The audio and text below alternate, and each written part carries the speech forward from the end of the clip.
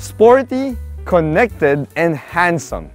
These are words that we usually don't use to describe value subcompact sedans. But heck, the Nissan Almera VL Turbo here wants to be called just that. So, does it have the chops to be called sporty, connected, and handsome?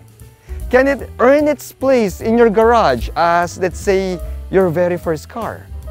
Well, dude, time for us to find out. Let's do this.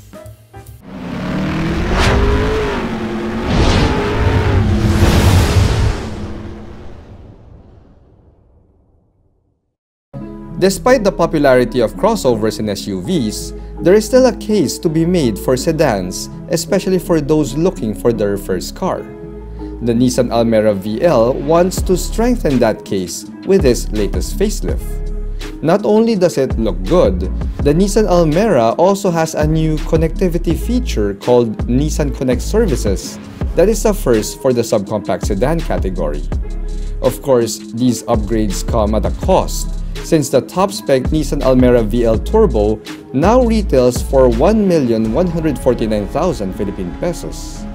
That makes the Nissan Almera VL Turbo one of the priciest sedans in the category, so here lies the question. Can it justify that asking price? Let's find out. Here at Reygan's Rides, we do car reviews of SUVs, sports cars, trucks, and everything in between. So subscribe and hit the bell. Alright, so before we go to the drive itself, which in a nutshell is pretty fantastic for the category, uh, let's talk about the connectivity feature first. This top-spec Nissan Almera VL Turbo is equipped with Nissan Connect services which allows you to control your car via an app on a smartphone. Yeah, so essentially you can lock or unlock your car, uh, remote start the engine from anywhere in the world as long as you have a good internet connection. You can get updates on your PMS schedule and you can also call for help in case of an emergency. Hmm. Yeah, call for help. Hold on. wait, wait, wait, wait, wait, wait. Isn't that what your smartphone is for anyway?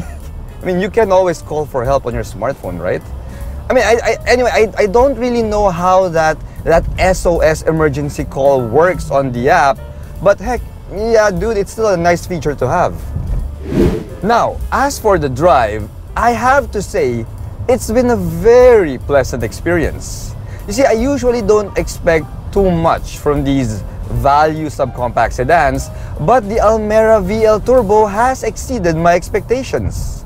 Outward visibility is one of the best in the category, making it such an easy car to drive. We also have a 1 liter 3 cylinder turbo engine here, but despite the odd number of cylinders, it is still quite refined and it doesn't really vibrate too much when you're when you're idling. Now this 1 liter turbo engine is also quite peppy, which really surprised me, uh, despite having only 100 PS and 152 Newton meters of torque. Now we can give credit to the transmission. You see, we have a CVT transmission here that has been tuned by Nissan to deliver a good amount of you know of uh, of torque and power uh, down low. And uh, yeah, the the acceleration is smooth and really refined. I mean, it's a really, really good experience, uh, at least for me. Now, the Almera can also reach triple digit speeds and it can do so with a good amount of composure. You know, it doesn't feel like it's strained. It doesn't feel like it's running out of air. I mean, it is so smooth. It's such a smooth operator. The steering feel is also a great balance of assistance and road feel. I mean, it's still an electric power assist system, so it's still kind of artificial, uh, but it does have a good amount of heft, and the steering response is pretty sharp considering the category. Now, I'd even venture to say that yeah, the drive feel of the Almera VL Turbo is, yeah, it's borderline sporty, because I got a chance to like take it out through fast corners and twisties And yep, dude, the handling is flat and neutral and it's really lively. I mean, I had a lot of fun doing that. Now, this is something that you wouldn't really say uh, for, let's say, the previous generation Almera, but with this late, latest version, yeah, I can feel uh, that, uh, yeah, that Nissan's racing DNA has trickled down to the, the tuning of the drive experience of this Almera VL Turbo. Which also applies to the exterior design. You see, while the previous Almera was a bit round and pudgy, this new Almera with its facelift, yeah, just oozes with sex appeal. You see, the facelift brought to us this redesigned front grille here uh, that comes with a lot more horizontal slats, making the Almera VL Turbo look wider and uh, lower than before. Now, of course, we still have the signature checked uh, LED DRLs here as well as the full LED headlight units and LED fog lights. Now, when you put it all together, uh, this redesign, this facelift, uh, in my opinion, makes the Almera the sportiest looking value subcompact sedan in the category today. That sporty flavor is further enhanced by the two-tone paint job that we have going on here. Now this, my friends, is the flagship color of the Nissan Almera, which means that it's only available on this top spec Almera VL Turbo trim. We have this uh, blacked out roof and blacked out pillars, as well as this moon pearl gray paint job here. And I just have one word, one word to say about this paint job gorgeous. I mean, dude, it is positively stunning and it makes the Almera VL Turbo look bigger and longer than it actually is.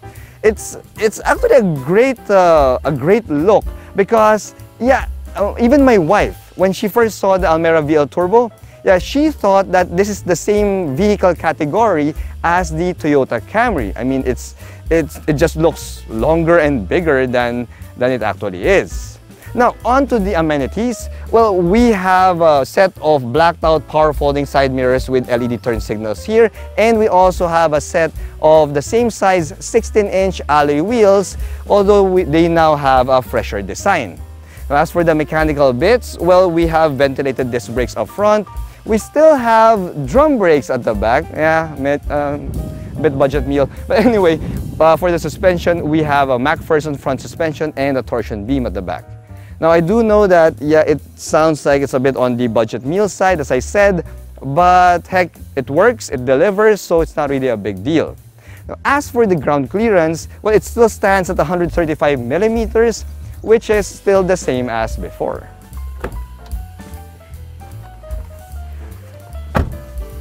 The Almera's cabin is simple, functional, and a nice place to spend time in.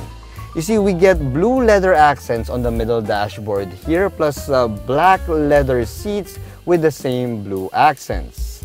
Uh, the leather wrap steering wheel here also now gets buttons for cruise control and the, the leather material that they use in this facelifted Almera is a huge improvement from before. You see, we now have a soft and smooth leather here versus the dinosaur skin pebbly leather that I first encountered when I featured the Almera uh, VL before, before the facelift. Now, the wheel also still adjusts for tilt and it also telescopes, so that's great news for taller drivers out there. And we also have the same format and layout for your instrument gauge cluster.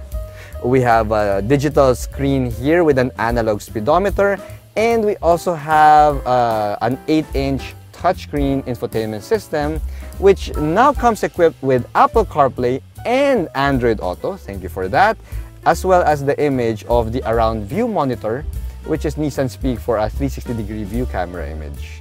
So yes, the addition of um, cruise control here, we have cruise control buttons now and uh, Android Auto plus the improvement of the material for your steering wheel is a two thumbs up for me.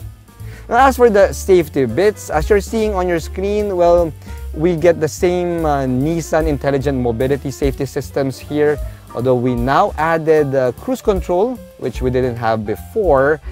And uh, unfortunately though, although we have that, yeah, it's still, uh, it's still a little bit uh, behind the other competitors out there, mainly because they have adaptive cruise control and lane keep assist, which we don't get here. Now, other than that, well, we do have a wireless charge pad now. That's a plus. Um, yeah, and uh, aside from that, all the other amenities and creature comforts here remain the same as the pre-facelift, including this manual handbrake right here. One of the bigger advantages of that 1-liter Turbo 3 is the fuel economy. You see, city drives have returned to me a robust 10.5 kilometers per liter helped by that idling stop system that this Almera VL Turbo is equipped with. Now the highway fuel consumption is also no slouch because I was able to get as much as 24 kilometers per liter if you're driving at a constant 80 kilometers per hour and if you drive with a light foot. However, if you drive like me, then uh, a highway fuel consumption of around 19 kilometers per liter would be more realistic. Now, let's head over to the back seat to check out the NVH and the back seat comfort. So, despite having a torsion beam rear suspension, the ride quality here at the back is nice and comfortable. Now that's helped by the fact that we have a nice and spacious back seat here courtesy of the longer wheelbase and the wider um, body of this Almera VL Turbo. Now, as for the NVH, well, it's pretty standard for a value subcompact sedan, which means that at higher speeds, yes, some wind noise would start to creep into the cabin. Now, as for the amenities, well, I'm quite bummed out to see that we only have a solo USB charge port here. We don't have uh, rear AC vents yet, but at least we have this center armrest that comes with a pair of cup holders. The rear end also received a minor redesign here. You see, we still get the same LED taillight units with the same uh, shape and design. Uh, and we also have the same rear garnish on the rear bumpers, although they're now finished in faux carbon fiber. Now we also have a, uh, a faux rear diffuser right here. So, yep, it looks uh, a tad bit sportier than before. Now as for the trunk space, hold on, there you go. As for the trunk space, well, we still have the same 474 liters of cargo capacity, which means that we can take my Sky Travel luggage right here, see? You can put it right there, see? And you can put a second large Sky Travel luggage here, plus some smaller items beside it. Now, if you're looking for the spare tire, well, the spare tire can be found inside the trunk. Well, we do have a donut spare tire there uh, in case of emergencies. If there's one takeaway I got from my week-long drive of the Almera, it's how easy it is to drive around town. The superb outward visibility and that peppy turbo engine makes the Nissan Almera such an enjoyable car to drive. Now I didn't expect to have this much fun driving the Nissan Almera VL Turbo which turned out to be a pleasant surprise for me. So for those of you who are considering a spacious, fun to drive and well-connected subcompact sedan, you would do well to take a good look at the Nissan Almera VL Turbo. Thanks for watching.